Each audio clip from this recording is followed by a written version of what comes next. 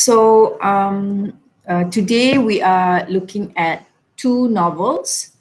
Uh, Trevor Noah's uh, Born a Crime, the South African uh, memoir of uh, the bicultural Trevor Noah, as well as, uh, so this is a memoir, Born a Crime, that's a memoir. So the genre itself can be problematized.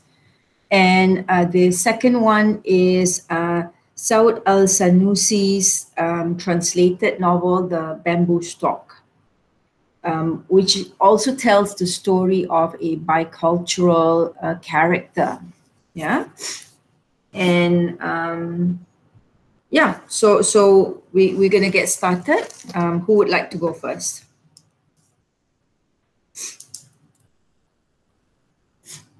I'll go first, Doctor. Sure. Okay. Um, so yes, so uh, the issue of identity, I think, is very strong. I think all of us can collectively agree on that. Uh, but then, um, what is interesting is actually the denunciation of identity by other people. Okay, how do I spell that denunciation? But I hope I'm pronouncing it correctly. Okay, so we have um, characters who, from the beginning, oh, when I say characters, I mean are the main characters in uh, Born a Crime and The Bamboo Stalk. I mean, bicultural, uh, of different of different heritage. I wouldn't say different nationality. I don't think their nationality was ever um, doubted. I think the you know their heritage uh, are actually uh, being conflicted against each other without their consent. Uh, so growing up, they never really have um, any say in uh, who they are, who they are, have always been imposed upon by others. And when I when we say others, it's unfortunately the family members. Um, uh, so I think what struck me the most um, are the roles of the grandparents more than the parents themselves. So in uh, the bamboo stalk, we have because I just read that, so it's still fresh in my mind.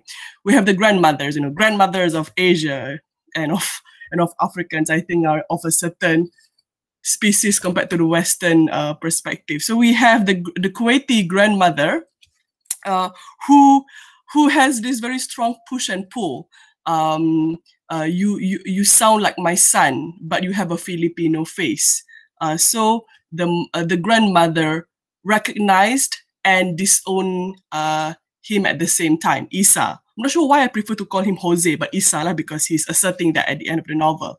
At the same time, if you compare it to um, uh, Trevor Noah, uh, what struck me the most is actually uh, the grandmother calling him white, even when he doesn't think of himself as white. And uh, historically speaking, when uh, if, when you look at literature, a lot of mixed blood uh, individuals, especially in America, because of that one drop law, uh, a lot of mixed blood had to consider themselves black in America, and obviously American Americans dominate the global narrative. Uh, so that is interesting for me to see how the grandmother telling um, the grandsons, "You are who I think you are. It doesn't matter how you define your identities." Uh, so as if they are carrying the burden of their viewpoints from their uh, generation. Uh, so, but then I think the bamboo stalk is different in a sense that um, Isa is a lot more assertive. I do think because he has been, because he literally was transported into a different land. So there are a few passages actually. Can I just share my screen if you don't mind? Uh, let me just share my very pathetic Microsoft Word. Okay. So there are three passages that I got. Literally, I just got them. I just extracted them uh, this morning. So the first one, I think the first 200 pages of the book, um, he is still quite um, uh, he floats about between these two identities. Obviously, the Filipino identity is a lot stronger and tangible because of his upbringing. Uh, but then the mother also feeds him this thing about, oh, you know, you will return to Kuwait, you will be a Muslim, and you will practice the identity of your father.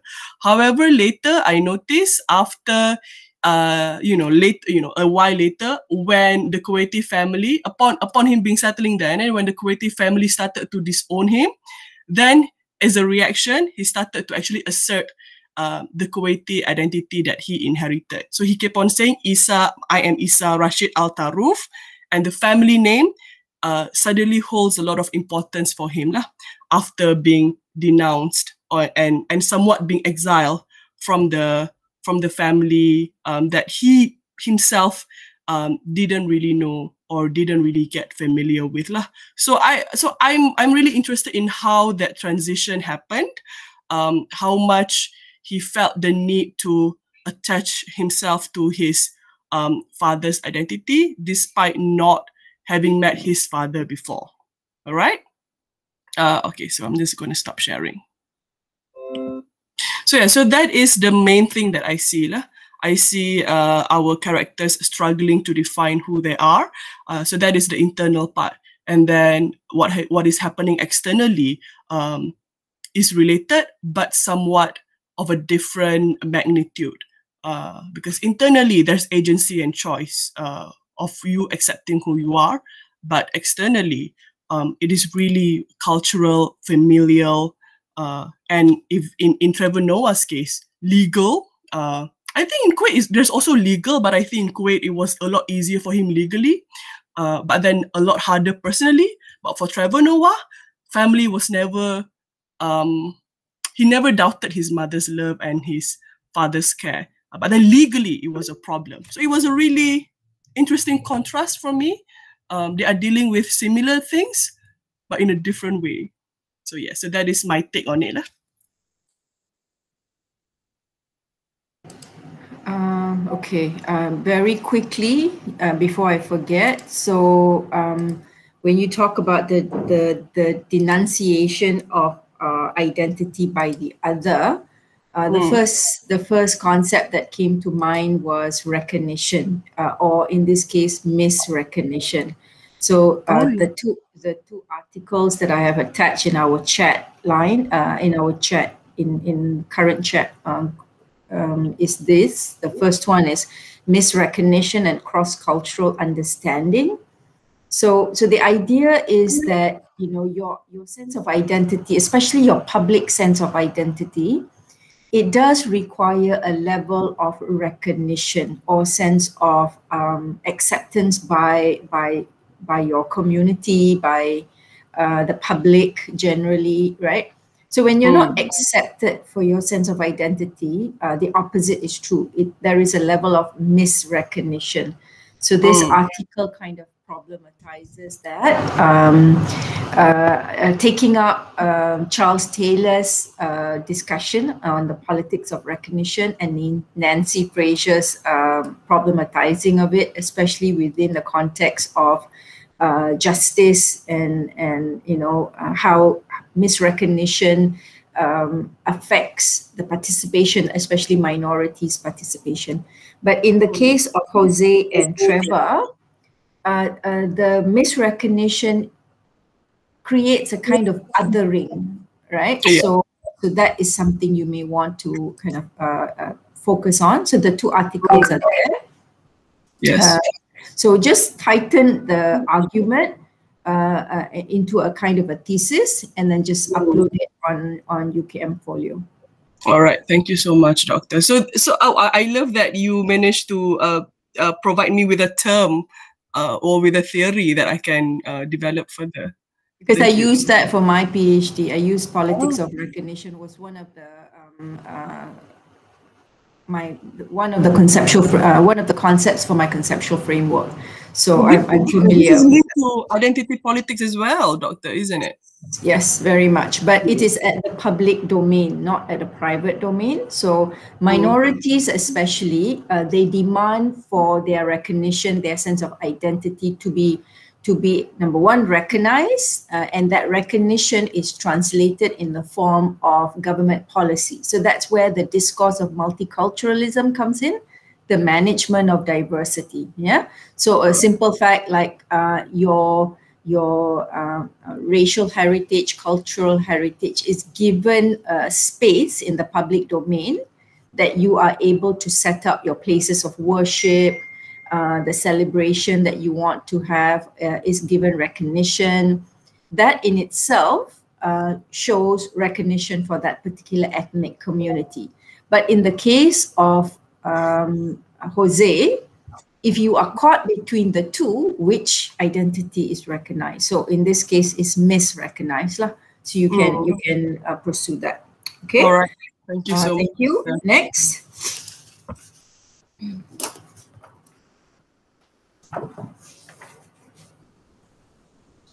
Salim? Yes, doctor. Thank you so much. Uh, in fact, uh, I've uh, concentrate on the issue of blessing and cares at the same time.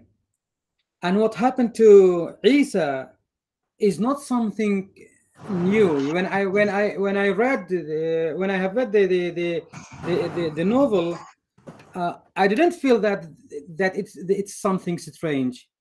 In fact, uh, uh, bear, giving birth to a child by uh, a father who's uh, uh, by, by, by different parents from different nationality usually bring two things blessing and cares at the same time a friend of mine his name was muhammad. He traveled to uh, to uk and the other time it was let me say it was in 2000 uh, one 99 uh, 1999 2001 he traveled to to uk uh, uh, he immigrated to uk in fact by illegal ways as you know. This is what happened to countries who, that have issues political issues. So he got married to a, a lady from uk and as a result he, he got two two kids.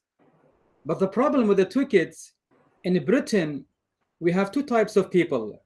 The black hair people and the blonde hair people.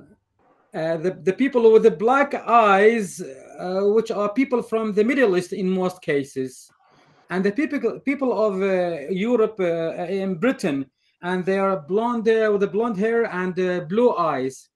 So whenever they go, they usually, uh, you know, uh, it was as a as a curse for them mm. oh black man black men came black men came black so they, they usually you know uh, uh, say something bad to them you know and even the mother when she said when when when i go to the market and people saw that i'm carrying two kids uh, I, am one of one of uh, holding a kid and uh, uh, taking the hand of another one and they are different uh, with the color, with the uh, the color of the eyes, I mean, and and the the, the, the color of their the the hair.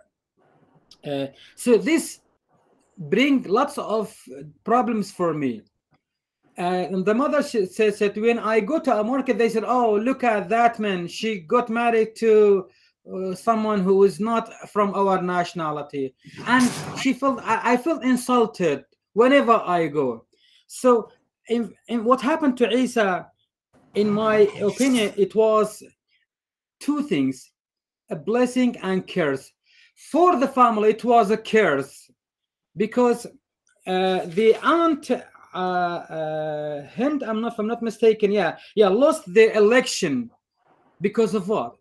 Because of uh, uh of uh, Isa, or, or, or uh, the, the, the son of Josephine. So uh, uh, people, uh, the kids started to, to, to, to follow the family due to what? Due to Isa. I do believe that the two issues that uh, uh, I discussed them, inshallah, I'm going to discuss them. Uh, giving birth between curse and blessing is really something thinkable, and inshallah, it's going to be something new. Thank you, doctor.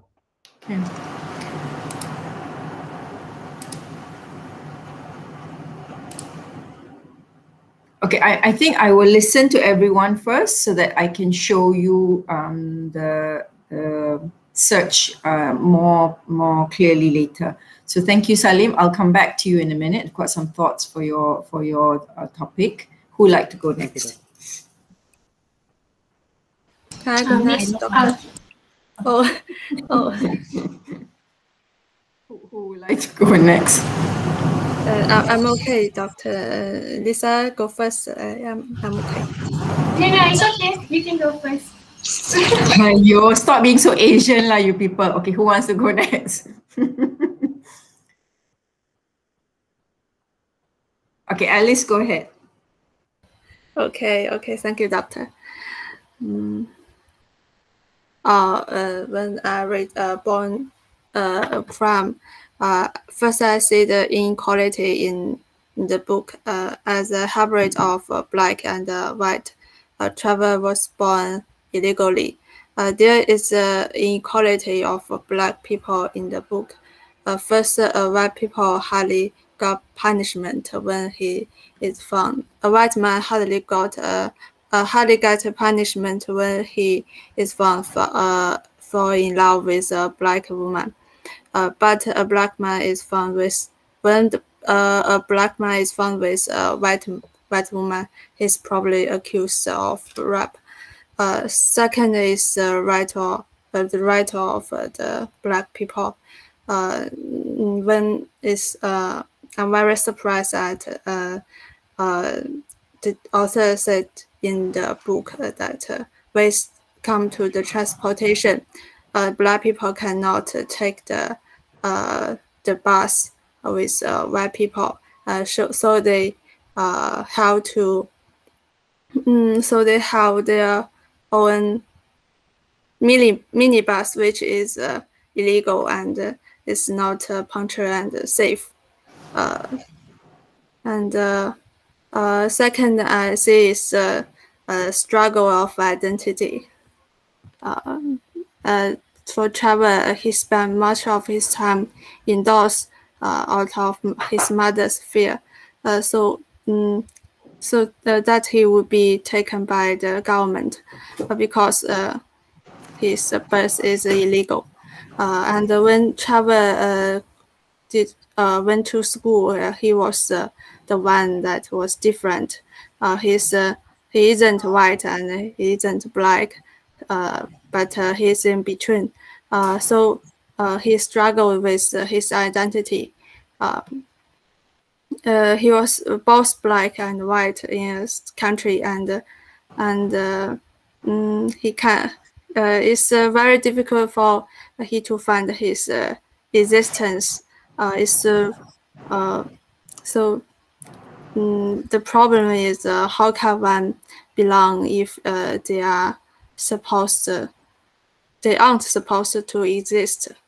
Mm. And uh, for for the bamboo stalk, uh, is uh, mm, is a uh, also the uh, struggle, uh, ident- identity struggle of hybrid. Uh, first, I'm very interested in the name of the book. Uh, why, why, why the uh, book is uh, bam- the name is bamboo stalk. Uh, uh, when reading it, uh, bamboo stalk is easily to grow where you put it, it in the ground where it can grow quickly. Uh, Jose is like the bamboo stalk. He was born in Kuwait, Kuwait, uh, Kuwait but uh, moved to the uh, Philippines with his, uh, her mother, who was a, Filipino, but uh, she was a servant in a rich family in Kuwait, uh, she fell in love with uh, Joe's father, uh, who was her master in the rich family. So Joe uh, was half Kuwaiti and half Filipino. Uh, he could he could never choose this himself. But the issue is that man cannot just like a bamboo stalk, which grows wherever others put them. Josie is a Josie as a human being has his uh, own thought and uh, he needs his own identity. But as a hybrid, he can make make his uh, uh he can't make uh, his identity very clear uh, in this story. Mm. Just as his two names, Josiah and Isa, the book are divided into two parts, half uh, uh, and uh, half Filipino. Uh, though he was brought up in the Philippines, where most of the people are Christian. His mother promised that uh, he should belong to Kuwait and uh, not uh, Philippines. So that means uh, he should follow his father as a Muslim. And uh, his father was from a rich, family, uh, lack of boys. As a child, Josie was uh, jo- Jose was uh, taught that uh, he would go back to Kuwait and uh, become the son of his father. He didn't belong to the Philippines, and he will be a rich Muslim one day in in his father's country. And uh, at the second part of the book, uh, he went went back to uh, his father's country, but things didn't go as uh, her mother had promised before. Uh, his family were not uh, not well welcoming. Some of his family wanted wanted to deny him complete, completely and for him to return the Philippines Philippines advice, while others wanted him to keep a low profile. Uh, uh, Isa and a few others make considerable uh, references to the social structure of a Kuwait, whereby unless you are true uh, both parents are uh, Kuwaiti, you are considered an uh, outcast. Yeah. Uh, so uh, is uh, is uh, is a quality of his uh, Filipino. Uh, he struggle with uh, religion, flirting with uh, Buddhism to escape the Filipino Christianity and uh, the Kuwaiti Islam. So uh, his his uh, mm, his cousin um, Merla, uh, who uh, who is uh, who is the child of a Filipino woman and uh, uh, uh, Noah European, uh, also uh, struggles with her identity. Uh, so um, it's um, it's very hard for a, a hybrid to uh, make uh, he or her identity clear. And uh, that's all. Thank you. Thank you so much, Alice. Uh, next. Uh, okay. Uh, so one of the things that I found interesting is that this book, uh, usually, uh, like for example, in Kevin Powers' book, the othering was usually someone from the Middle East, and the American takes like a high seat. But for this book particularly, uh, the othering was people from the Philippines. So that's what I found interesting. So the author did you kind of how you kind of see like what it's like when uh, when a person who's not uh, who's like who, who's you say superior economic wise or whatever from like the third world country they take on their book so the author did uh he has his own perception on uh, prostitution how it's bad and whatnot but he did acknowledge that it was due to the poverty of the nation so uh, i can't say that he's biased or anything because that is like the truth of the the truth of what Philippines is like. The same way that uh, I wasn't really mad how Kevin Powers described the people, how their people described um, the people of the Middle East, because uh, that's the truth. That's the truth of the. Uh, that's the truth how it was back then. That that's what the people's opinions really are, regardless of his.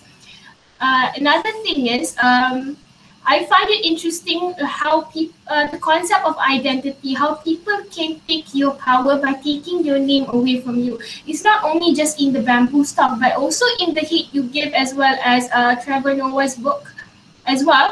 Uh, I wonder why it is that uh, for them, like uh, for them to assimilate with their with the culture, America, Britain, or, wherever they are, uh, they have to change the, the, the, the name and make it more like English or more American sounding when the, the name in their own language has a significant meaning to them.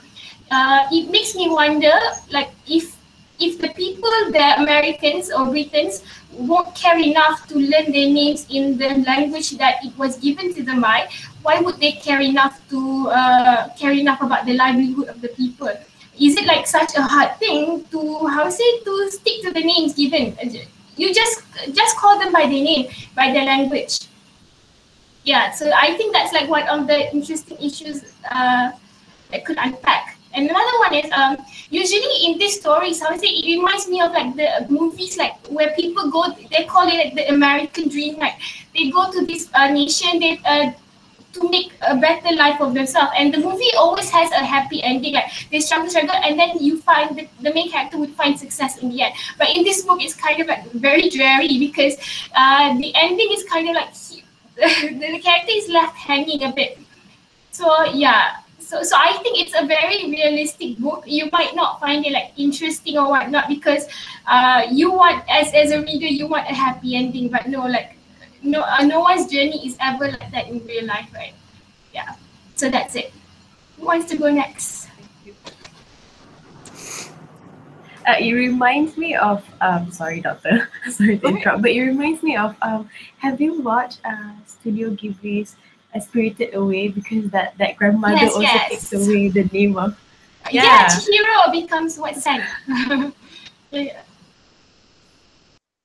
Okay can I Suddenly you can compare it with with an animation now, you know, yeah. because you have identified a particular theme in this particular text that you can see the intertextuality with another text, right? So yeah, good. Yeah, but and Um, also the character of grandma there. right. Okay. So can I go next? My Go notes is a bit here and there, but okay. Um, first, I would say, of course, identity, and then I also see, you know, a bit of religion. But okay, I'll just go. Um, also, the line "Kuwait is a small place" is is very much, you know, um, um repeated in in the novel, and then um, What was the line again? Sorry. Kuwait is a small place right right in the in the in the novel um so what i can compare is that uh, during their coming of age this this protagonist they question uh, and and was in search of a place where they belong somewhat. Um so in this case because I, I will very much lean on bamboo stalk because it's very fresh like ruby said. Um so Kuwait of philippines right? To me personally as much as he belonged in the Philippines, it gave so much like headache and heartache. Uh, but if he was in Kuwait, it was a different kind of headache and heartache. Um, so all involved either his family on mother's side being the problem or his father's side, um, which both grandparents are so amusing to look at. Mm, so when he was in the Philippines, his mother would frequently address him as Isa, which he did not prefer. So uh, he preferred Jose as his identity, right? Um, but when he came to Kuwait, very, he very much wanted to prove how he was, you know, Isa um, Rashid uh, Taruf. Um, it, it is not that he did not belong anywhere to me. It's just I think he belonged to neither of these places, since both of these places has its own uh, its own kind of like destructive force towards him. So um, yeah, he needed to make peace with that that's why uh, you know at the end of the novel then only we see him uh, you know like that and then one thing for sure wherever he was put let's say any place in the philippines or Kuwait, um, he survived regardless same as um, Trevor Trevor as well. Um, it's, it's like a sense of uh, you know survival i would say. Um, and then uh, just a bit on religion i think um, as much as the the writers um, put in you know Islam, Christianity, or, or Buddha, it is as if you know it's it's something they could hold on to while, while going through so much. Um, like uh, like Isa, um, I feel like he he was always lonely, so he just needed like affirmation that at least God was present and and could listen, any God by any means. Yeah. And then um, what else did I read? Uh, okay, right. One, yeah. Uh, character development is very much uh, interesting in, in, in Bamboo Stalk. And I actually like when um, the stories are in Philippines compared to Kuwait when he was in uh, Philippines. Yeah. Um, yeah, that's all, I think. And how would how would that be comparable with uh, Trevor Noah's Born a Crime? Uh, I think um, in terms of like religion, his mother is very much um, a, a Christian. How do you say this? what's the word? His, his basically his mother is very much uh you know um because when we first read the story we were um we were told that there's different church for different kind of community but his mother you know his mother very well informed him about that. So christianity i think being part of his life and and it's as if it's something that his mother you know actually holds on to while you know surviving and going through hell. Yeah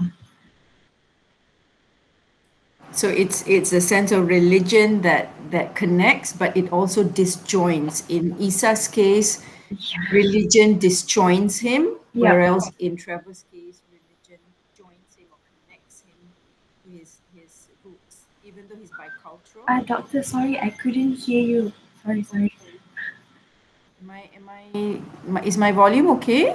Oh. Okay. oh maybe is this me okay sorry Okay. No, because what you were saying about religion, in Isa's case, religion appears to create a kind of a disjointed identity, a fracture in his identity, right? Uh, yeah because at times he is Muslim when he's in Kuwait, and when he is in um, the Philippines, it's majority Christian. So like disjointed. His sense of identity is not only disjointed culturally, Mm. racially, Mhm. ethnically, you know, in terms of his sense of nationhood also, Yeah. but also religiously. Whereas in Trevor's case, religion is the one thing that connects him Yeah. to his his grandparents, his yeah. his family, you know, because they are all Christians. Yep.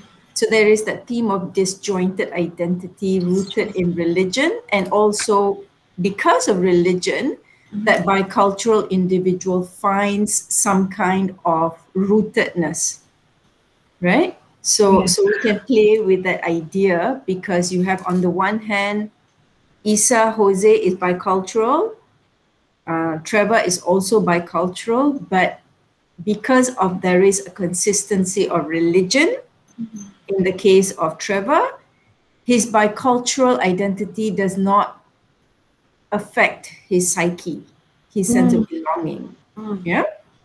Whereas Isa or Jose does not have that.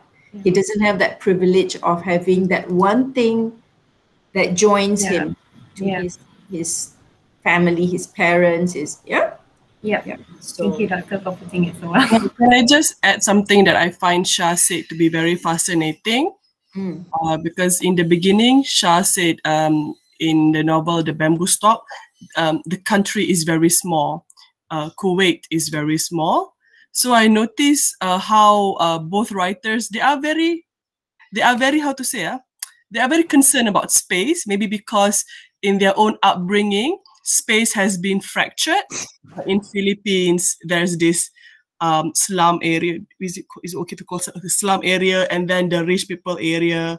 And then in Kuwait, even though it's small, there's the migrant area.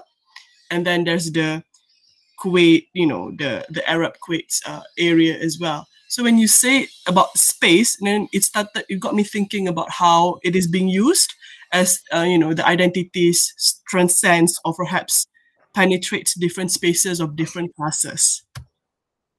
Oh, actually, uh, sorry, sorry, I had to put my own input in there. What Ruby said is very interesting. The concept of space how, and how it cannot be, how say, cannot be inherited by other people. Their space is their space, it's not anyone else. You're either this or you're that. There's no like third space, there's no mingling in between. Even though like Isa's name was technically like Jesus, like right in the Christian in the Christian context, but uh, it wasn't accepted because you're either a Christian or, or you're not, and also you're either white or you're black. That's it. There's no like there's no in between. So like I think the concept of like space is very interesting as Rupi did. Yeah. Good. Uh, Aimee.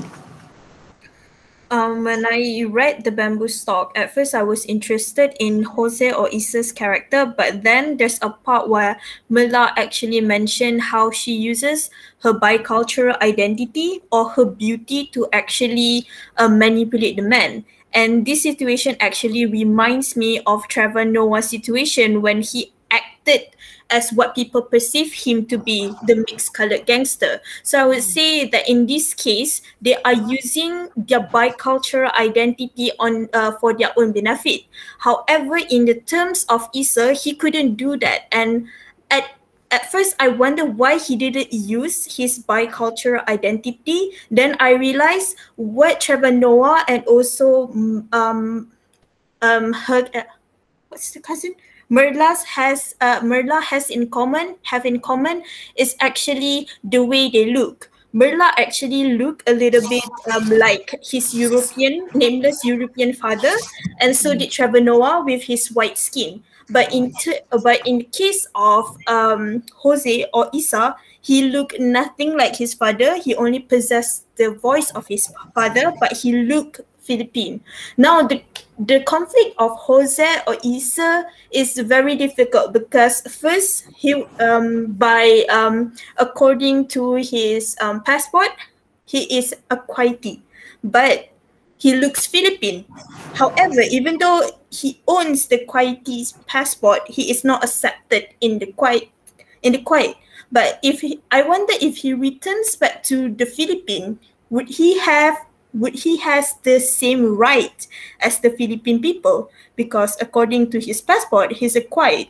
So I wonder what rights he actually has in his life since even in Kuwait he could not get a decent job because um, he has no education and he doesn't look like a Kuwait. He's not accepted in his family. But back in the Philippines, I wonder what kind of um, rights are offered to him as a bicultural a bicultural um, kid. So um, it's something that I ponder about, and I also uh, wonder why um, Jose or Isa insisted on getting to know the Kuwait as a whole, but he also confuses himself because to him he kept on repeating that Kuwait has so many different faces, depending on the people he met because different people he met treats him differently. Mm. So to me, judging a country as a whole is not possible because uh, a lot of people they have their own different personality, but that is what actually Isa is trying to do. He's trying to understand Kuwait as a whole, even though it's impossible. But in the conclusion, I think he understands that he did not belong. Uh, he he wanted to be in Kuwait, but he know that majority based on his experience he is not welcome there so that's like a very sad ending but it's the truth and then i'm also interested in Ghassan who is a bidun he served in the army um, he lived there he was born there and the most interesting part is actually he had siblings who have the Kuwait nationality except for him the only error in the system where he is considered as a bidun.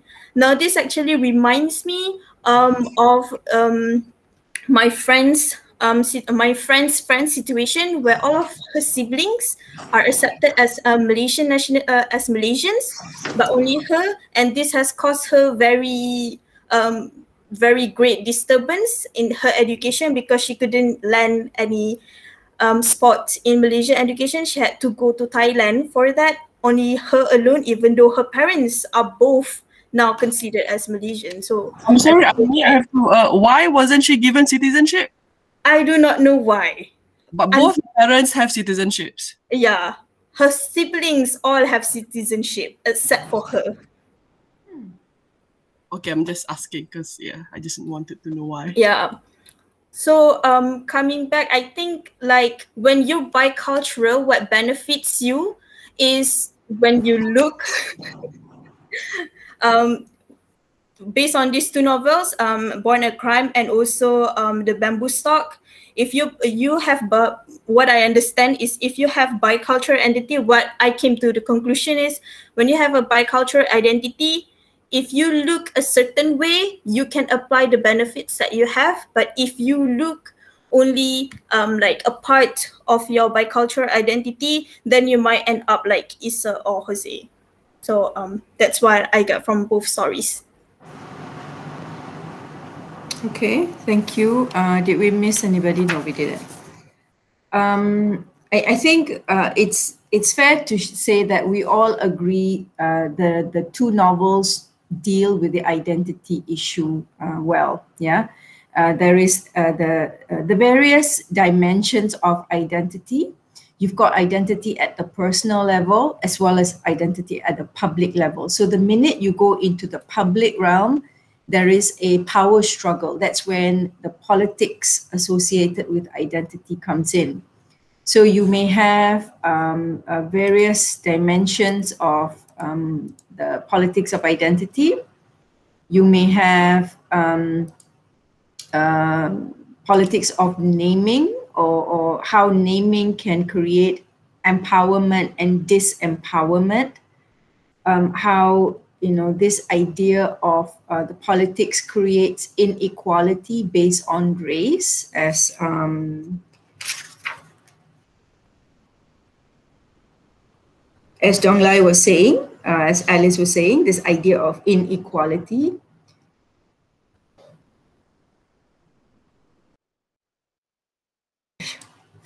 I've got a sneeze coming up, but it didn't want to come up. Um, and then uh, you also have sense of identity that is uh, neither here nor there. Uh, you know, I think Shah talked about it a little bit. Lisa also talked about it a little bit uh, this uh, and even Salim talked about it. So you you all talked about it, but you named it differently. Salim named this sense of uh, hybrid ide- identity as either a curse. You know, there is that kind of a, a, a, kind of a contestation of identity seen as a curse. So you may look at it as a social curse and how um, that sense of identity that is seen as a curse manifest into your social um, inequalities. Yeah? Your the lack of, of, opportunities because of your identity because of that third space identity that you belong. And as um, um, Aimi talked about just now how whatever is on your passport it does not necessarily translate into um, another concept that I think is worth looking into is um, Benedict Anderson's notion of uh, the imagined community, where uh, you know, you know, your sense of belonging to a particular community. It's not because you know everybody in that community, but because in your psyche and in the psyche of the people of that community, you share certain things. You share the language, you share uh, the religion, you may share the, the practices, the cultural practices, uh, the, the way of life that you um, uh, live and the way of life that people of your community live. So that creates what Anderson uh, Benedict talks about, Benedict Anderson talks about this sense of an imagined community. And when you have that, that concept in your mind that you know you belong to this particular community, whether or not you know the members well, because of that uh, um, connection and association, in your mind, you know that you belong to them or they belong to you and they accept that you are part of them when there is that level of acceptance, recognition, the individual experiences a kind of belonging, right? So the belonging is very much an abstract concept, like, but what Aimi talks about just now is when you have a passport, there is a concrete uh, evidence that shows you are a member of this nation because this passport has your name and you are uh, your nationality is clearly stated in that passport. But how does that concrete thing translate into your um, your sense of identity your psyche your acceptance? And that's where concepts like the imagined community uh, is necessary right so in nations when uh, uh, you know the nation experiences independence goes from a colonial uh, state to a, a post-colonial state the nation, uh, the, the, the authorities, the government need to do certain things in order to ensure that the nation uh, as a whole, the people of the nation as a whole, uh, associates themselves to the collective uh, identity. then you have things like uh, the national language, you speak one language, or you celebrate uh, similar, um, um, uh, you know, holidays like um, Independence Day or Malaysia Day, and and you know you have certain things that that joins you together as members of that particular uh, land. So there is that level of the imagined community in the minds of all Malaysians that allows them to be united. So when you compare that to the text, in Jose's case, his level of the imagined community is non-existent, right? There isn't there isn't a, a, an imagined community that he fits into. Uh, albeit, as uh, Aimi said, uh, Merla has the same kind of um, he, she is from the same kind of situation or context, but it doesn't seem to affect her as much. So I'm just wondering though, um, is there a level of choice uh, that both novels seem to, uh, both texts rather, because one is a novel, another one is a memoir. Is there a level of choice that the author themselves seem to suggest? The two authors, do they suggest certain things? You know, because we're not expecting to find resolution um, uh, you're right. Lisa, you're right. There is no resolution. The lack of resolution in um, uh, the bamboo stalk uh, almost suggests that such individuals, uh, their lives are constantly in a state of a limbo. You know, they are uncertain whether they are rooted in, in their parents, uh, in their dad's cultural sensibilities or their mom's cultural sensibilities, right? So whoever is dominant.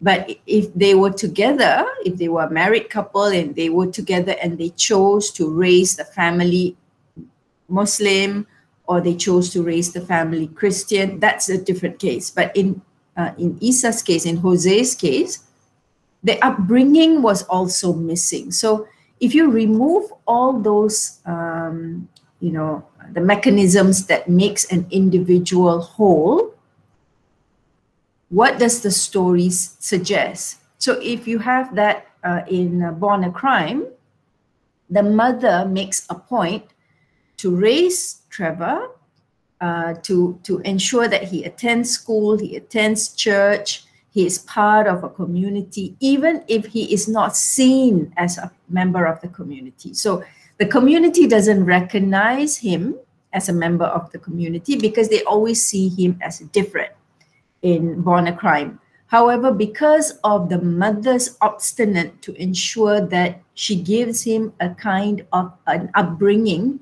that joins him to a particular community, uh, it allows Trevor, as you all have said last week, some of you have said last week, it allows Trevor to kind of get to know the other communities without a sense of insecurity, right? So Jose could have done that. Jose could have chosen to learn Arabic and learn the Filipino tongue, the Tagalog, and be able to speak both proficiently. He could have chosen that.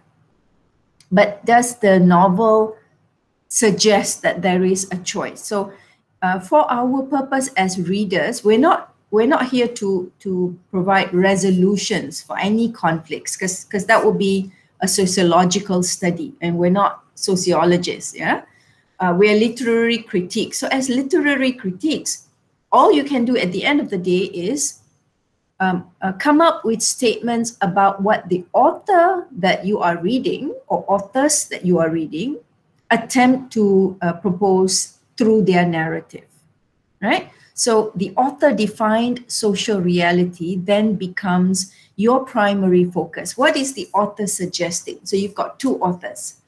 One is a South African, another one is a Kuwaiti. One writes his memoir and shows us the bicultural identity, and another one writes a fictional uh, story.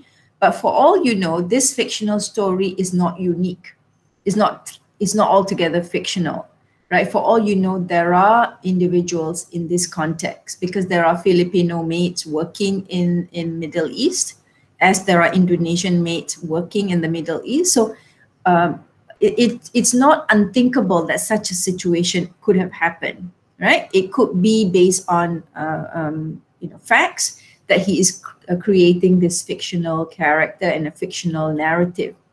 But that's that aside, what does the author seem to suggest? You as a reader, you get to probe that element. So that is as as um, deep as you get to go. The extent of your discussion is not to um, uh, suggest a solution or an answer.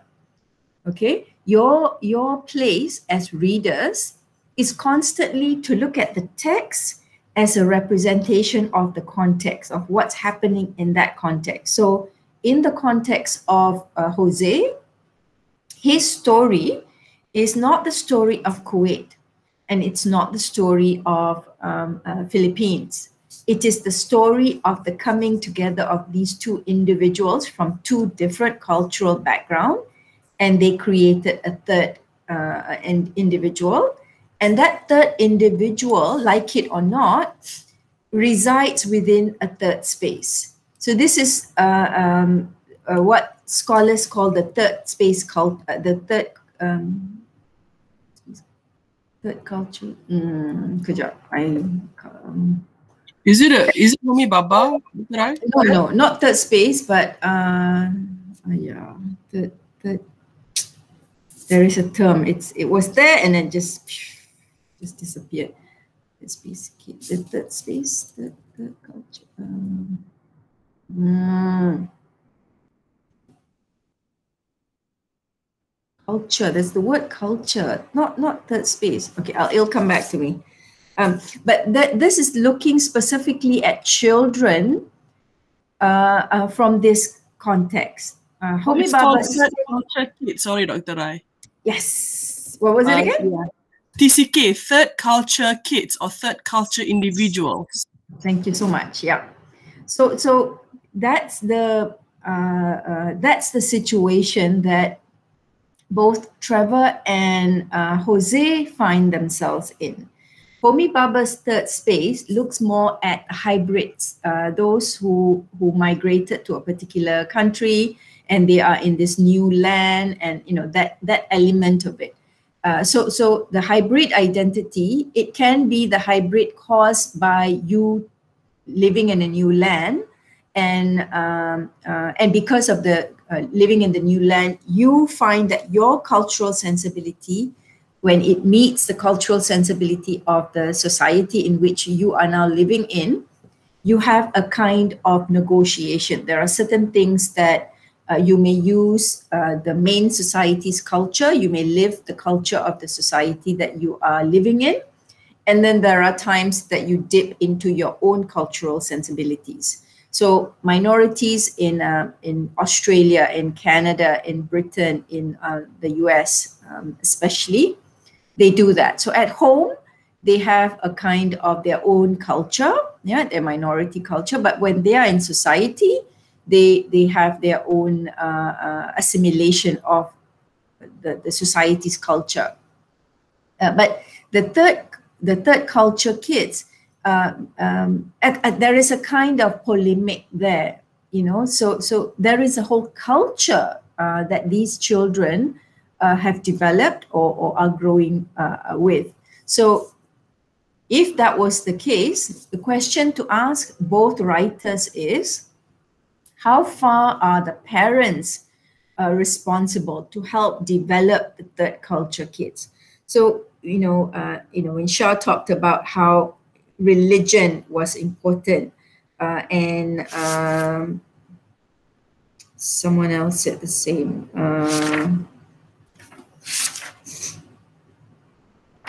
I forget. Somebody else also said the same thing. But that the question that I'm I'm asking you all to probe is that what role does the parent or the guardian play in ensuring that these bicultural children grow up whole and grow up um, um, with a clear sense of identity.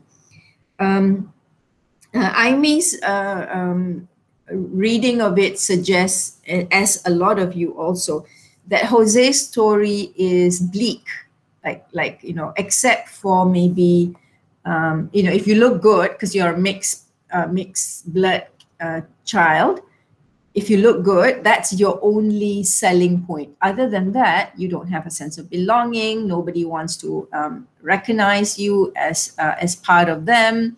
Um, so it's it doesn't seem like a hopeful uh, scenario to be bicultural. Yeah. Um, so I'm just wondering what these two writers. So as as readers, that's where we come in.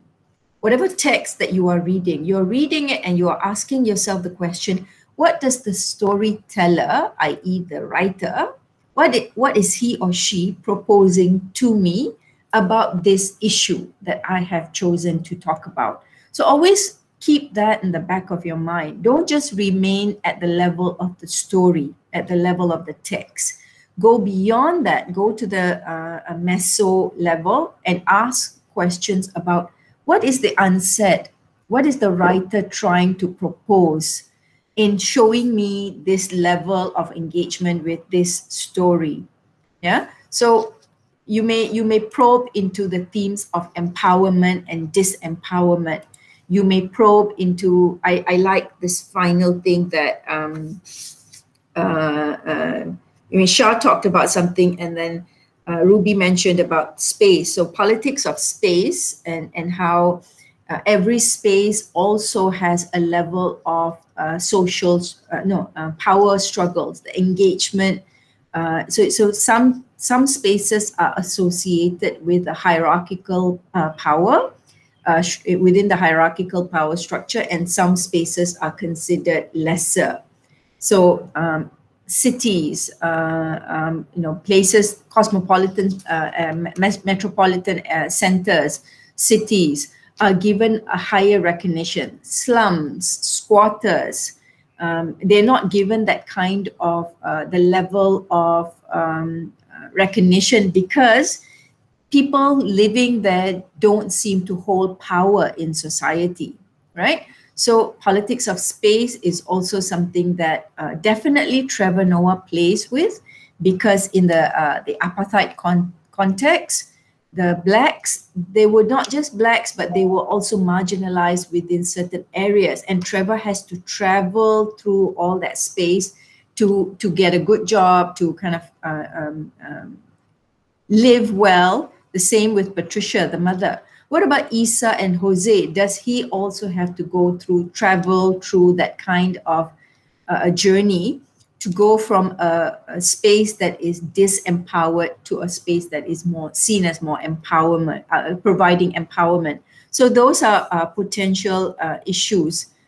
Um, and then uh, uh, Salim talked about the blessing and the curse. So even a simple Google search, um, please use Google Scholar, uh, not just Google uh, search, but use Google Scholar specifically. But if I if I use uh, where, where is this? Um,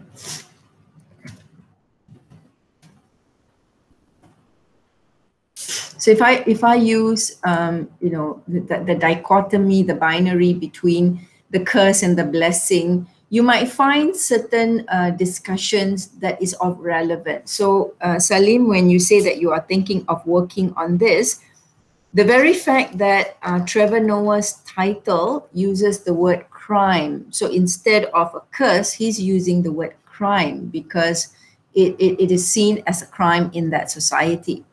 But in Jose's case, in his life, uh, born he, him being born is not a crime but you're right, him being born is seen as a curse. So look at how um, how the theme of uh, curse as you know the cursed child in um, uh, J.K. Rowling's uh, um, book. So that idea of being a curse is also a leitmotif in literature, right? Uh, uh, just like you have the dichotomy of the chosen one you also have the dichotomy of the cursed one. So, so what connotates the element of being the cursed child? What are what are things that make somebody a cursed uh, um, individual in society? It also ties up to what Ruby was talking about earlier, which is the the misrecognition. I choose to misrecognize you. I choose to identify you as someone who does not belong, who does not have the, the authority, the power, uh, uh, who is disempowered, who does not hold a status in society, very much like a pariah in the context of uh, uh the untouchables uh, in the Indian caste system.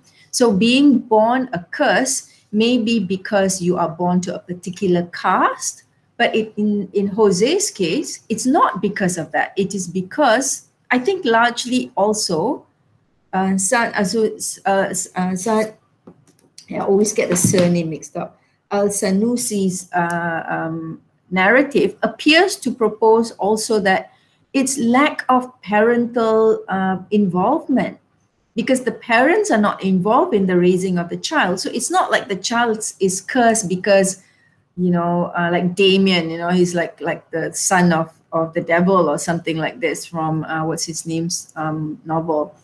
Um, uh, is it Stephen uh, Stephen King? Um, I can't remember, but that element of curse. So the word curse, I feel Salim is a little bit too strong because if he was a curse, that means he brings misfortune to people around him.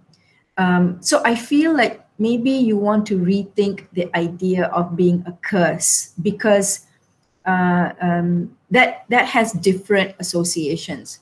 So think about what the writer uh, Saud al-Sanusi is trying to propose with regards to Jose, and then look at Trevor Noah's experience and how he seemed to have um, made a life for himself despite being bicultural and, and despite his bicultural identity being seen as a crime in that society. And yet he seemed to have grown up whole. Yeah more more whole more more complete in his sense of identity and belonging than jose or isa.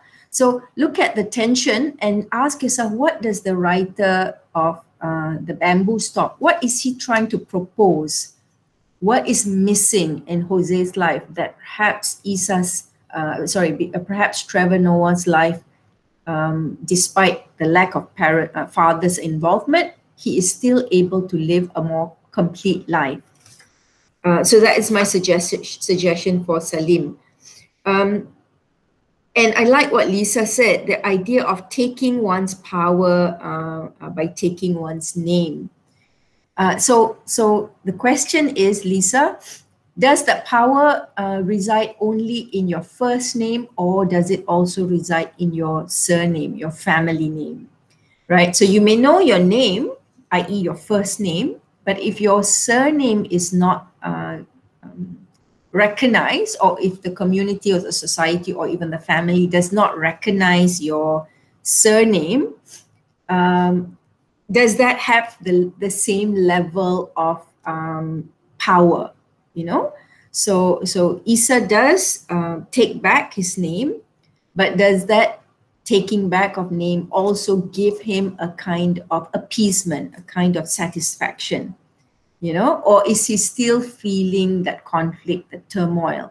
So what is the writer proposing? So always always come back to that. I want you to constantly remember that we're not doing a sociological study. We're not trying to answer some social ailments that's happening in society through literature, but we are making certain uh, statements that the author is suggest suggesting based on the uh, story that they are telling. Uh, I guess that's it. Any questions? Doctor, actually not a question, but I think what you said about uh, the surname part, I didn't think of surnames. I think I thought of like the first name. But if what you said like is right, if uh, taking the surname is also a form of taking power, does that mean like the married woman, you know, when uh, uh, particularly when pe- women married uh, non-Muslims, they take on their husband's name. So does that mean we're taking power away from those women? Muslims can relate, but yeah. Yeah. But uh, I, I agree with you. Um, I, I think culturally, um, you know, when when um, when I first found out about that, and a friend of mine, uh, you know, from school, from when I was in school, when I first found out that she's no longer Wong Lai Fong, uh, and she is Li Lai Fong, I was like, that is bizarre because her first name is Lai Fong and she's married to somebody. Uh, his surname is Li. So she's taken. So, so I've always been writing her name as Wong Lai Fong, and to write her name as Li Lai Fong to me, it's like a, a whole different person. And that is me as an outsider. What about her?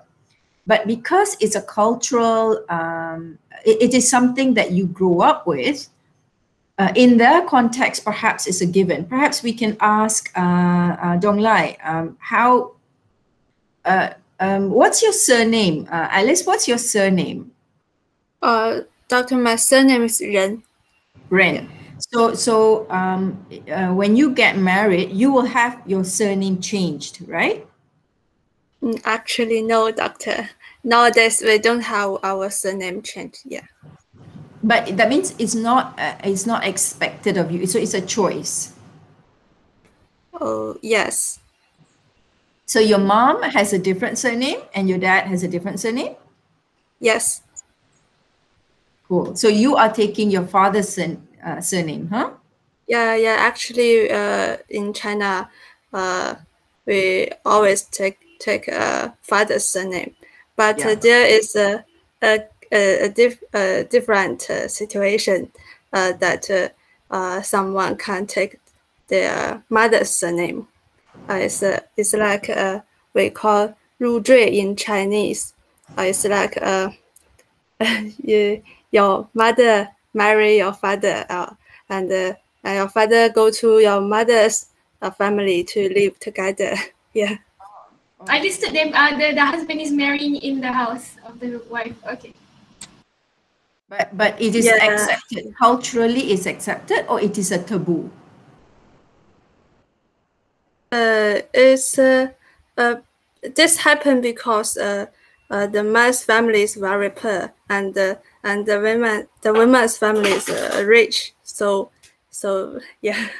Mm, Okay, so so it's it's more a matter of class. So so there's a level of class uh, distinction also. So yeah, okay. So that's not just culture, but it is also uh, um, class. Yeah, but Yeah, but- uh, doctor, uh, I, I do. Uh, I mean, I did lah. Now that I know, uh, but I did find it rather fascinating because um, uh, in our community, um, family name is not something that we put a heavy uh, focus on. You know, so be- be- because because I'm a teacher, I teach teenagers. So every time I ask them, you know, um, uh, you know, like you know, uh, like you know, like simple family topics, and they will say it is very important because most of them are Chinese. So they will say we need someone to pass down the bloodline. Or we need someone to pass on the family line. So I always Mm. like, what do you mean by this? And then were Mm. is very important, you know. So to have grandparents, uh, grandchildren following the, the name, we must take care of the Mm. name. And but because for us, maybe because we live in our own sheltered privilege, we don't see the we haven't focused on, on like things like Eng or Tan or Li. But for them, it means something because for us, you know, uh, it is, It's a father's name. It's a father's name, and then you know, then our children will have another surname, then our children Mm. will have another surname. So I do find it really, really fascinating. I thought it's a Muslim thing, but no, it's actually it's a Malay thing, uh, because Arabs they have their own surnames, Yep. and it, and it, in Indonesia, some individuals only have one name. Yep. Yeah, there's no binti or bin. So I do find it very fascinating. Mm, mm. Cool. Anyone else has any takes uh, based on what we? Uh, Salim, did you want to say something? Yeah, you've got your hands raised. Salam. Doctor, sorry. Yeah. I agree with you completely what you said, Doctor, concerning the term cares. 100% I'm with you. Mm. But if you look closely to, if you go, uh, uh, you know, between lines, if you read between lines, we will find that uh, the, the Trevor mother was about to be killed and to be sentenced uh, because of giving birth of a, a, a child with a different color. And at the same time, goes back to Isa. Uh, the, the, the, the grandmother Ghanima said, You are not a blessing to the family. Mm. and I, I have I have read uh, I, I concentrate on that you know many times Mm. and I came to something very interesting. Uh, the writer said something so nice. Let me let me just give you the the the, uh, the, the main idea of them. He said each tree has a has a specific special type of soil to grow in it and has a special environment has a special weather. Tropical plants never grow in, uh, in in deserts. I mean hot weather like kuwait and iraq. So go back to iraq. Uh, the oak trees never grow in the southern parts of Iraq. And palm trees never grow in uh, areas uh, in, in, in northern area, north of Iraq. Where am I? So uh, you, you can't find palm trees in my area, in Duhok, uh, in, in Mosul, sorry. So never grow that. And if you apply the same thing to on human beings, you will find the same thing. I know a man got married to a lady from the southern parts of Iraq. They are both Muslims. But at the same time, they got divorced at, after two, three years. Why is that? Because the each each plant, each tree has a specific atmosphere context. You can't plant palm trees in the north, which the weather is very cold. So uh, this just I want to say that I'm 100% with you, Doctor.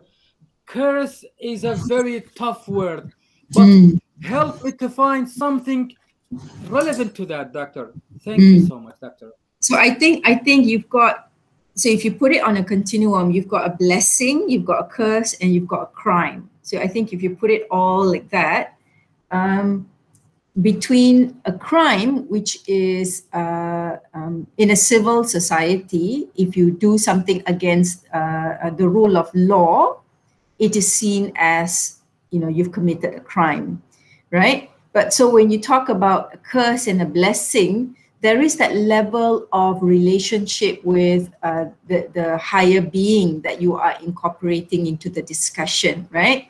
So uh, I think we want, I would like you to probe into this a little bit more so that your methodology is a little bit more objective rather than, uh, I agree with you, what the grandmother says kind of helps, uh, helps you identify a potential theme uh, in this uh, in this story. But I'm also wondering, does the mother see uh, Isa or Jose as a curse? Just like does Patricia see Trevor as a crime? She understands this is what society says, but does she look at her son as a crime? She doesn't, right? So just right, like doctor. Sorry, doctor. You you, are right. The the grand uh, uh, the granny uh, Ghanima, she doesn't. Uh, uh, oh, she's let's say she didn't say it's a crime. It's not a crime. Mm, It's not a crime for a man in Iraq or in another country to get married to another person uh, uh, from another nationality. It's not a crime, but it's a curse. Mm. Yes, doctor. Thank you. Yeah, sure. I understand. I understand. Ruby, did you want to say something?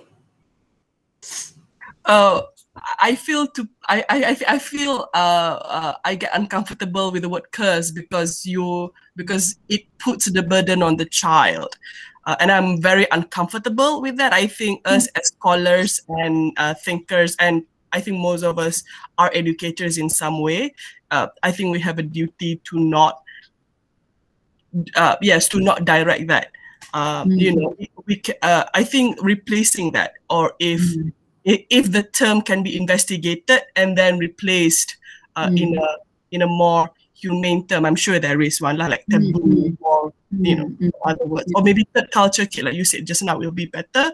But I do find curse carries a very heavy baggage, and Yeah. that is fair to children. But but but you see the point being because we are not I completely agree with you which is why I feel I feel the same But I think at the end of the day, we are not doing a sociological study. Right? We're not going out there, we're not interviewing these children and then branding them whether they are crimes, uh, they are born as a crime or born as a curse or born as a blessing. We're not doing that. But we're looking, we are investigating what the writer himself is suggesting.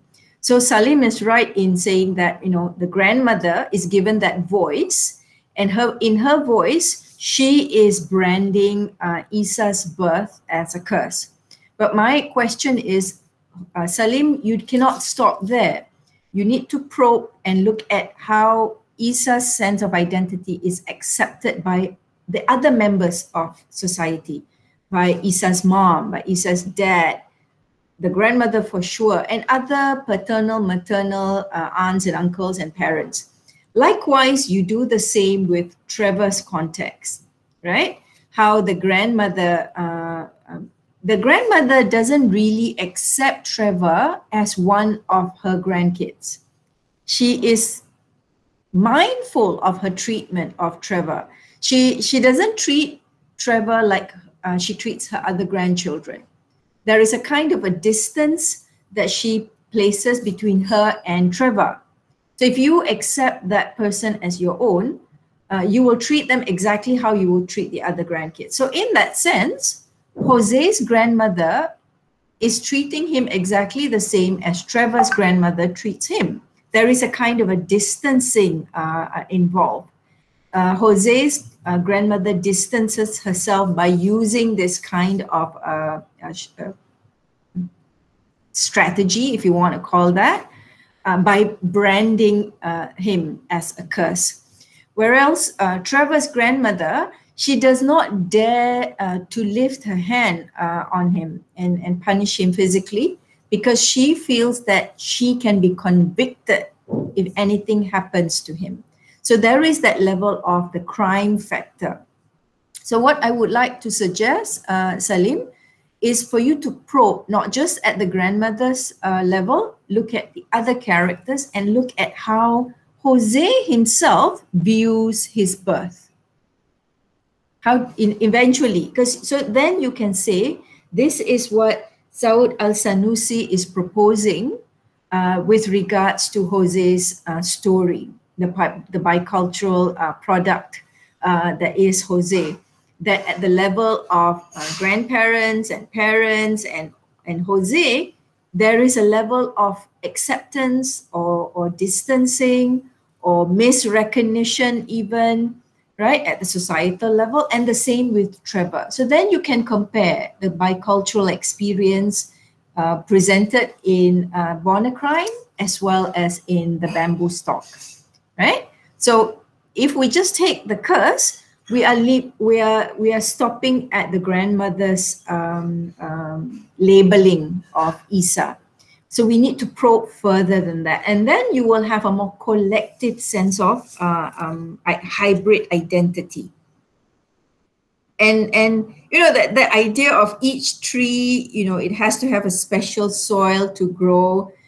Um, you know, I was just, I'm a coffee drinker. So I'm just Googling like where was coffee originally from? It, it's, you know, and, and the fact that you don't need it to grow in your backyard to be able to enjoy certain things.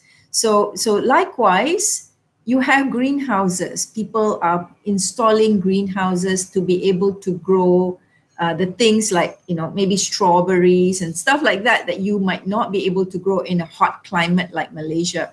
And my PhD student who since uh, finished her studies um, uh, looked at grafting uh, as a kind of um, identity development and how grafting when you graft a plant you take an aspect of another plant and you plant it you you you impose it on another plant grafting. Let me just google that so that i can talk about it better. Uh, so so um, uh, my PhD student completed her thesis looking at, um, among other things, the bamboo stalk so this idea of grafting is part of the horticultural uh, technique in which, um, let's look at an image, huh? in which, you know, you, you, you strategically bring uh, two different plants and you make them uh, grow together. You know, you you uh, you create this technique, and this is something that has been has been in practice in the horticultural industry. Yeah, so you may have uh, like tomatoes or apple with pear.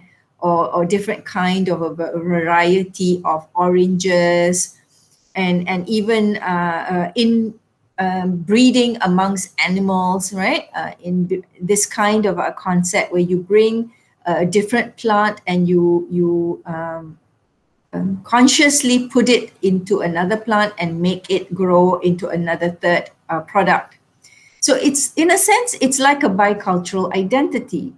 You know when uh, uh, you think about it, and how does that plant thrive in which and in which environment does that plant thrive in. Uh, and you you may also have a, a kind of a sense of acceptance or not acceptance, especially with regards to animals. If you do things like that with animals, right? Uh, are they able to thrive? So those kinds of issues can also be um, uh, problematized.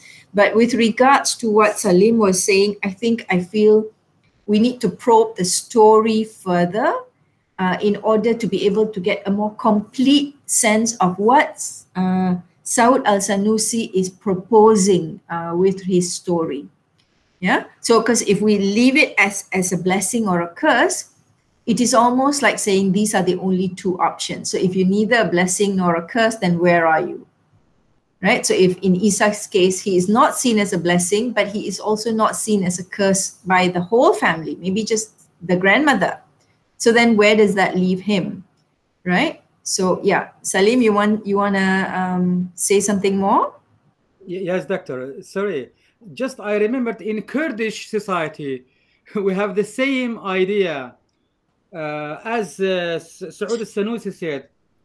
It is said that in Kurdish society, the kids of gypsy, uh, I mean, I mean, people who are, uh, you can see in many can, poor countries who are begging for money, food, and blah blah things like that. He, it said that kids of gypsy cannot be uh, uh, kids of uh, of uh, of we say aga aga. It means just like a head of a tribe. Mm. You got my point, doctor? Yeah. So yeah. He said. He said. Uh, uh, even if a girl from gypsy got married to the head of the tribe so she will she will behave the same as a gypsy kids mm. thank you doctor. Mm. got it okay uh, anyone else has anything uh, to add to the discussion today uh, sorry doctor uh, go ahead when talk to the curse uh, it's a very serious and tough word and uh, I, I will not use the curse. I will use the welcoming situation, not welcoming situation. Mm, this mm. happened in China, uh, mm. but uh, it's not. Uh, it's not about race, but about gender.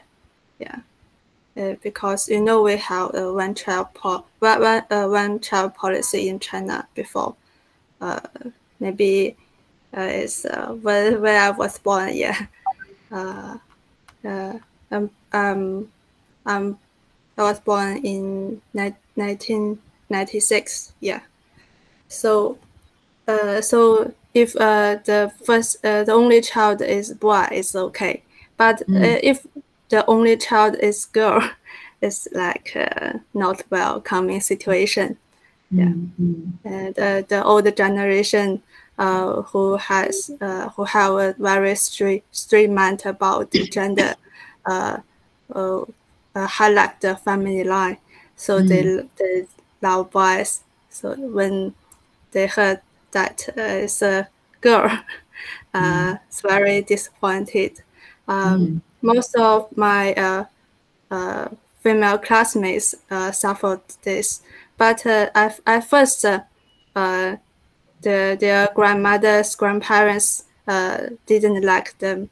But uh, when time flies, they're forced to accept this uh, uh, this fact, this So, mm. uh, and uh, and uh, mm, the girls uh, are told that uh, uh, they they didn't like because they didn't like uh, them because uh, they are not uh, not good. So, so they uh, studied hard. Maybe they turn they turn their uh, attitude. Yeah. Mm. Yeah this I, I, this I well said well said. Yeah gender is also something that is uh, uh, you know is there's politics involved in um, especially in communal societies with regards to the girl child compared to uh, the boy uh, child. So i completely uh, agree with you. And and that's why i think in our two novels gender is not an issue. Gender is not brought into the uh, the discussion because both in both stories, it's the boy child. So if if it had been a girl child, uh, uh, that would have been another level of uh, the polemic would have been another at another level. So well said. I agree with you. Maybe I don't know. I'm just thinking. Uh, what do you all think? Is there a level of shame involved? Yes, I think. Because um, uh, in Jose's case, maybe the, the Kuwaiti grandmother is ashamed that she has a, a grand grandson, even though it's a son, grandson, a grandson not from the Arab lineage. So, so there is that level of shame uh, that she uh, suffers. So instead of uh, accepting it or or uh, understanding that she's actually ashamed of the child or even her her son's uh, behavior she chooses to kind of distance herself from it and and uses the word curse.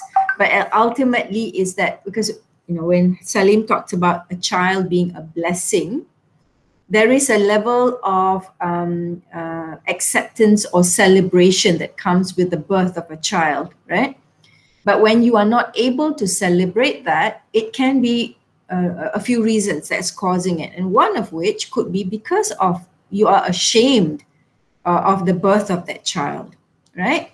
Uh, that that sense of shame, it could it could be because that you know from a different nationality, from a different culture, from from a, a um, in an inferior uh, class, right? Uh, that again is a theme that transcends various literatures. Okay, this class idea of the class um, um, class-based relationship. You know, the the son is sorry, the boy is from a different class, a higher class, a wealthier uh, class, and the girl is from uh, the the poorer class. You know, she's a maid so if you think about it, in a communal society like the Arabs, like the, the Kuwaiti society, as well as in Malaysian society as well, and maybe Chinese society, marriage is not something to be taken lightly, right? The idea of getting married, uh, you you basically marry two families, not just two individuals, but it's like two families coming together. So, but the way uh, Isa's father uh, went about it uh, it disregards that tradition and the way the society works. So that is also another level of shame that the grandmother feels very strongly, perhaps. So I'm just uh, Salim, you know, you may you may probe any of these lines, and, but we can talk more uh, in our consultation slots. So so, you, uh, but I think these are these are good suggestions that your your classmates are are giving you. Okay, anyone I agree else? Them, doctor. I agree with them. Shame is much better than than curse. Yeah. Thank you for all who said that, and I convinced now. Now I will change it. Giving birth between shame and blessing is much better, and uh, is more softer than than curse. Thank you, doctor. But but you can bring in your analysis that excerpt from the grandmother. You can you can bring that in and probe that and and, and look at that as well. Don't don't disregard that. Yeah. Inshallah doctor inshallah. Any anyone else has any other comments or or um, further ideas that you want to probe with regards to these two books? Uh, I think somebody mentioned nationhood. Uh, I cannot remember who it was. Uh, but yeah, but yeah, but uh, based on our discussion, I I feel like uh, in our pursuit, this happens in our real life as well. In our pursuit of nationhood and to belong, I wonder um, there are people who fall between the cracks or Mm. into the cracks and then there are people who are being made invincible uh, invisible uh, because it's not some because i am privileged enough not to have experienced that because i guess you know i was born to both to parents who are both malays both kelantan is malay so there was not even a confusion. And purity um unfortunately like you know, you know this purity of blood? We thought it's fiction but actually we probe into our you know familial history. It is something that all of us have considered. Are you full malay or are you full chinese? What mix are you? And it has also gotten into our lingo as well or you know uh, budak budak kacukan is the malay term that we call lah. yeah. Uh, so yeah so it, it it- gives me um uh, a reflection a reflectionary perspective on how i view things. But uh, yeah but very cautiously because from a from a privileged standpoint i must admit. Mm. Um, yeah, again, that theme is uh, is also very uh, significant in literature. If you, any Potterheads will know the half blood, right?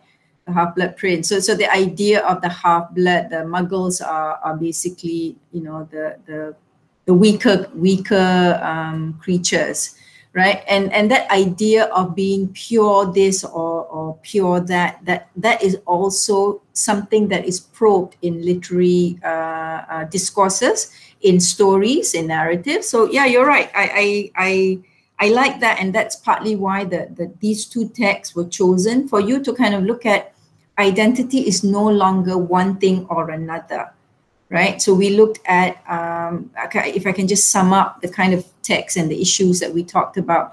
Uh, we we started off looking at uh, this sense of identity politics uh, based on um, text produced from a particular uh, literary canon. So you've got that binary. We we looked at uh, Langston Hughes' I, Too, and then we also looked at um, um, telephone conversation by uh, Wole Soyinka, looking at the black and white. So you're either this or you're that.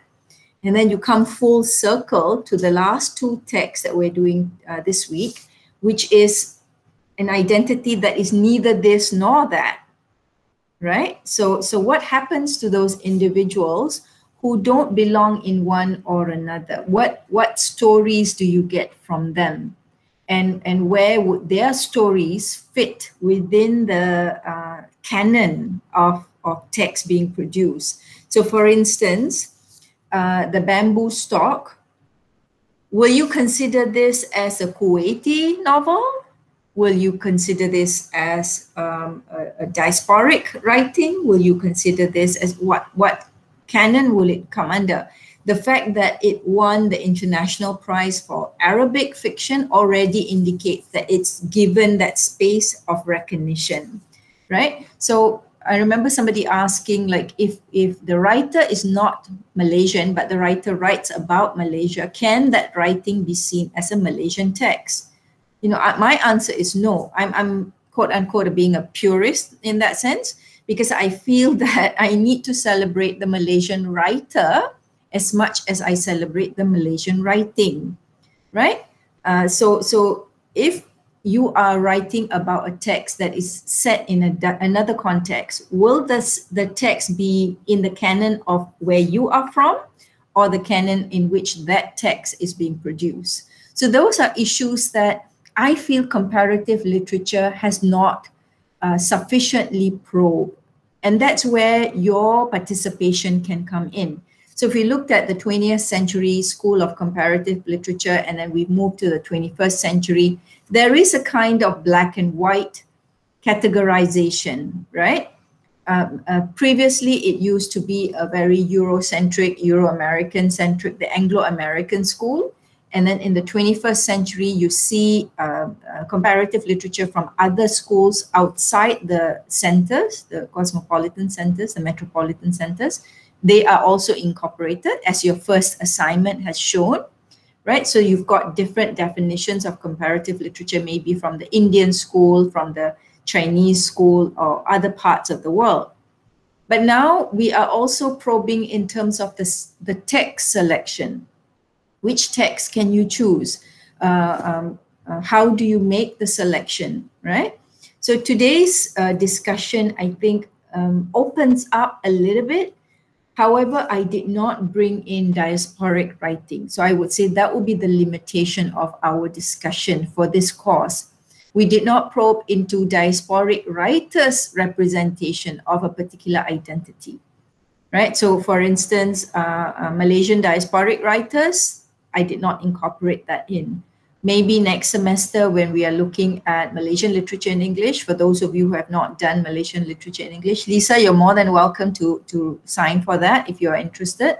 We've enjoyed having you in class today, uh, this week, and, and this entire semester. So, so when do we look at Malaysian literature in English, and if your final project you choose to look at diasporic Malaysian writers, you may do that.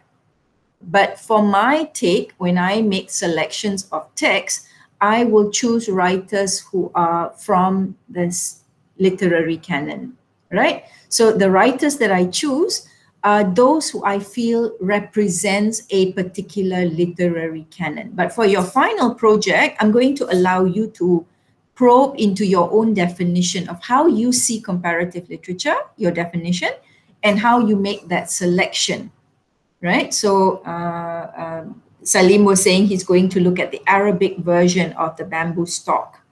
Uh, Shah was saying she's looking at a movie version, uh, a movie, uh, and to compare that with a text. So each of you will have your own um, understanding of comparative literature. But what I hope is that at the end of this semester, having read all the journal articles and then uh, uh, the novels and the texts that we have read, having listened to your friends' um, discussion, uh, various at, at various uh, juncture of our semester. I hope you you leave with a sense of understanding the breadth and the depth that comparative literature can offer you, right? and it also gives you a kind of a methodology. So when I'm approaching my research, I need to approach it according to the, the focus and the scope. So if I say comparative literature, then I need to make sure the two texts are number one, not from the same literary canon, right? I cannot choose a text from one race and another, one uh, uh ethnic background and another ethnic background from the same nation. You cannot do that because that's not comparative literature. So those are the, the fine, subtle lines that you need to understand in order for you to say i'm i'm i have a sense of understanding what is comparative literature. So the definition the methodology the choice of text. But at the end of the day we are taking a more uh, open approach. The readers has a say. Each of you if you if you think about it each of the reader in this class has a say in terms of how you approach the analysis I did give you parameters, like for instance, this week's parameter was on biculturalism, but not everybody wanted to look at bicultural identity as their parameter, and that's okay too, right? You may you may want to probe uh, uh, this discussion. Uh, for instance, Alice talked about the inequality. Uh, uh, Ruby talked about um, denunciation of uh, by the other. So that doesn't mean it has to be bicultural. It can be any text and that issue will still be relevant. Yeah. So, uh, so I hope that uh, the experience of this course has kind of enriched your reading of literature and your understanding of uh, how important your role as readers are you know and your roles as a, your individual role as a reader as well as your horizon of expectation as a reader enriches your reading. So the more you read, the more you, you live, the more you are able to look at the text and say, there is something here that I want to speak about. And that's where I join this conversation, right? So I, I hope I hope the class has has this particular course has uh, provided you those um, um, enrichment and I look forward to reading your final project um, before we, we conclude this course. But in the meantime, we've got a few weeks before uh, your assignment is due. So please do sign up uh, for consultation. Let me know when you want to see me uh, and, and we will take it from there. Okay, so I'm going to go through uh, the class quickly uh, from uh, Donglai. Alice, uh, do you have any any final thoughts for your classmate as a whole since we are all here together? Or for me?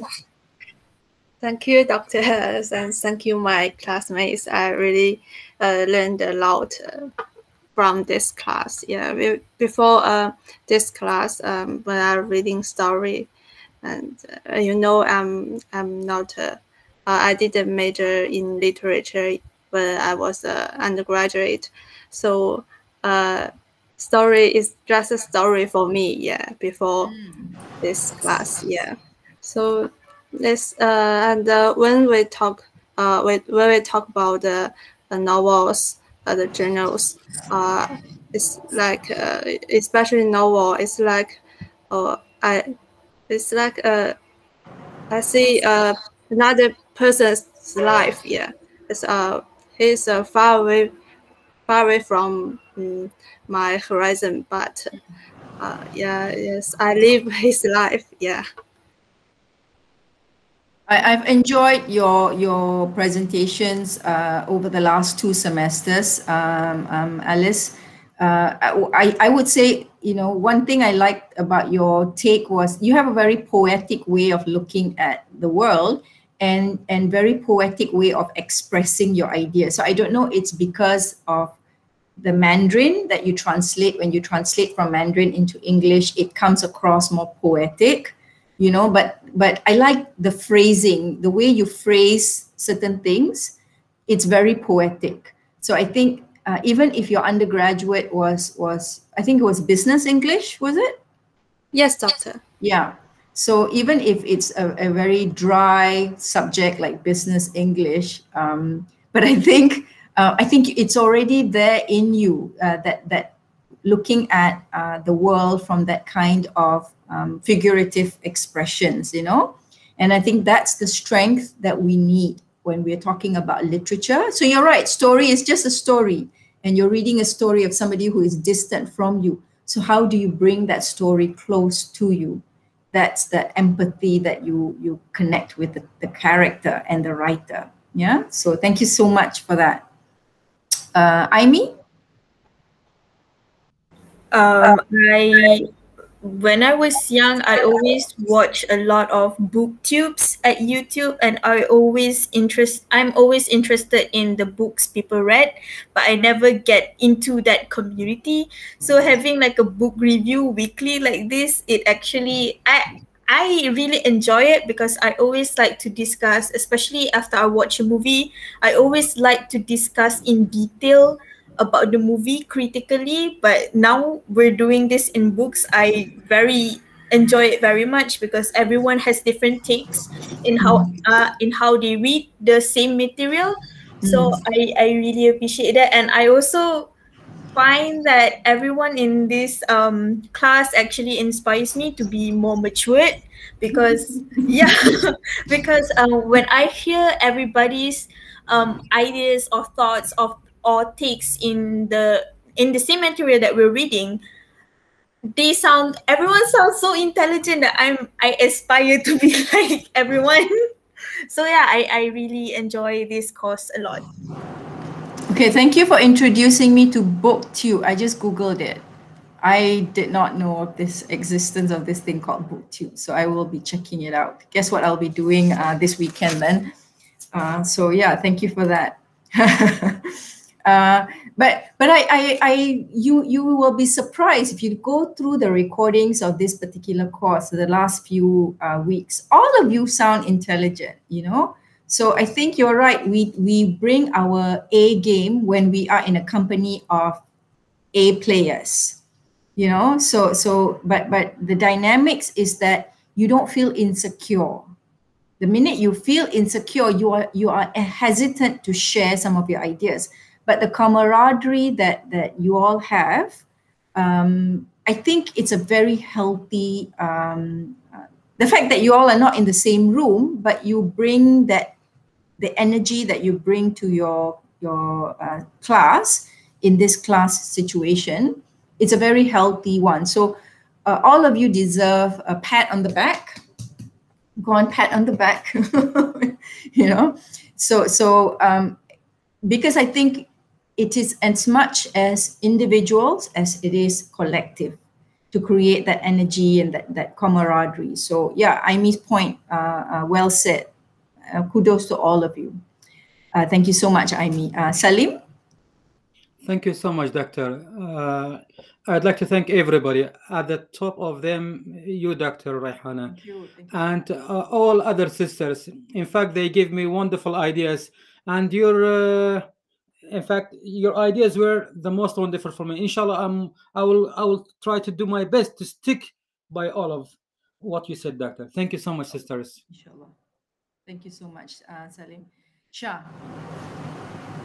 Um, yeah, first of all, um, I like that this class is challenging to me actually, um, because we don't just dive in theories, you know, like any of the classes. Like, I'm not saying that it's not good, of course it is, but yeah, um, this class is more of like, you know, we dive in in our thoughts and opinions, and and that is very much, you know, tell is very telling of who I mean, who we really are in some ways, and and Yeah. what you hold on to and stuff like that. And I'm very thankful that I read Corpse Washer because I really like it. um, I really like it. And then, yeah, um, um, I want to thank everybody because um, all of you have helped me a lot in terms of like unpacking, like even a single sentence that I that I you know um, tell. Um, so, yeah, uh, I very much uh, want to thank Dr. Rai, of course, uh, for introducing a lot of actually, um, you know, texts from Middle East, I would say, right? Middle East, right? Yeah. Um, because all my life, I've been re- reading like since small, like Enid Blyton, you know, you'll be reading like, yeah, very, very Western um, texts. Um, so yeah, in this class, I'm I'm very you know excited because okay, next reading is is from Middle East uh, writers. This is from you know, um, so the I like that we are exploring, you know, in terms of our reading and everything. So yeah, thank you, Thank you. thank you very much. Thank you. Lisa? Uh, right. Uh, uh, same with uh, what Shah said. Uh, I actually enjoyed the variety of books that we read in our class because uh, same. During I was a child, I was more exposed to like the Western books, Harry Potter, Artemis Fowl, and all that, rather than uh, rather than the Asian Asian books that we have. So I think yeah, that, that's one of the things I'm very grateful for in this class. Uh, I've also immensely enjoyed the weekly like book discussions that we have. It's kind of a relaxing time for me, like to discuss. Uh, which is funny because I mean I don't I, I, I don't sound very intelligent in my head, you know. But but, but when I talk to you, uh, when I talk to the people in this class, I go like, wow, wow, she makes like they make a very interesting point. They have like such a broad perspective of the world they might and how they interpret their readings. But uh, yeah, I'm also uh, of course thank you, uh, thankful to, to Dr. Rahana and everyone here for uh, I guess for listening to what I have to say for all for the for the entire semester as well. And also the Imagine community theory is something that I've adapted into my research as well. So with that said, I think it's interesting how an imagined community comes with its own set of Imagine set of rules, which I think, uh, yeah, it's a very interesting thing for me because whether you are inclusive or exclusive, part of that community, it depends on a lot of factors, your race, your religion, your age maybe. Yeah. So it leaves me a lot to, uh, to think about. Yeah. So thank you everyone. Thank you very much, Lisa. Uh, Ruby? I just would like to say those who say that they are not very intelligent presented on people like Freud and uh, you know all these uh, theories and you know so those who say that they don't sound intelligent I think are the most intelligent people in this class. So that is the first rule about being intelligent. You don't say that you are intelligent. Okay but yes but I do agree. I think all of us are astoundingly uh, how to say this, a sharp, I, I would like to say. And I think this has a lot to do with uh, Dr. Rai. I think you, uh, I think you help us in unpacking a lot of things, you do not make analysis a very scary thing. So I must mm. thank you for that because because because I I you know my my head is a little bit scattered. I do read a lot, you know.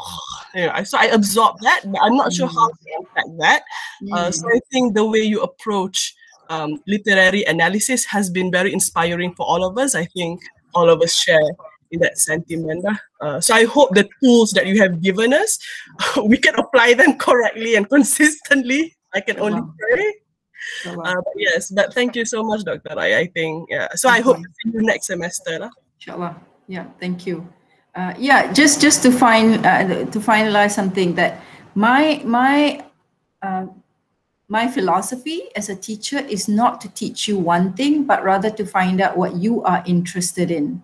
We'll read the same thing, but you, as Shah said, you know, and Shah and Lisa also said the same thing, that that you bring your interest in your in your uh, discussion in your unpacking of the text. And my role is then to say okay you're interested in that why don't you look at this thing? Maybe this concept might be suitable to you so I feel like I'm more of a curator of, of the learning, your learning uh, pathways, rather than I say this is the one thing we all have to learn together and this is the one thing we do together. But then, then it might not be of interest to you, right? So we all come from uh, different backgrounds, different uh, um, stations in life, right? But we have interests. And when we open a book, and find ourselves and the issue we are interested in in that book, that's the moment we come alive. So, so uh, what uh, um, was it? Was it Dong Lai who said this? That it's just a story, and and it's a story that is at a distance. But the minute you open that story, and you find yourself in that story, the story suddenly comes up close and personal, right? So the beauty of literary studies is it allows you that window into yourself, not just into that story, into what you feel you want to say something about. So I would like to uh, um, highly recommend that all of you take up every assignment that you are given for the literature uh, program. Take up that as an opportunity to say something about your own thoughts about the issue and then use the work of fiction as a way to express those ideas. So when you do that, at every juncture of your assignment, you are finding your voice. You are exploring further who you are as an individual. You know, so it's not the number of books that you read. It's the number of times you digest something and you have an opinion. That's why your e-task, I'm asking you to write a paragraph or so, but it has to be compact. You end with a thesis statement. What is this analysis about? You don't have to do the entire analysis, but I want you to at least have reached that level where you form an opinion about those two texts that you are reading. Not at the surface level, but to the level where you can develop a thesis statement. Right? So if you ever choose to probe that further for later publications, you can just pick that paragraph and say, run with it you know, develop develop a whole full paper. But the e-task is important for that. Okay, so it's been my pleasure uh, conducting this course. Uh, I honestly feel that all of you have uh, brought your A game, and I'm I, I feel privileged uh, to be to to be part of this. And and Thursday uh, afternoon, I would look forward to my class with you all. So it's it's going to be sad that it's it's the last class. But uh, inshallah, we will see uh, uh, each other next semester for Malaysian literature and English. Some of you will be joining us. Um, uh, Dong Lai has done uh, Malaysian literature and English, and uh, Fuzla has also completed Malaysian literature and English. But I think, inshallah, the rest of you, I will, I will see you next semester. We will do the same approach.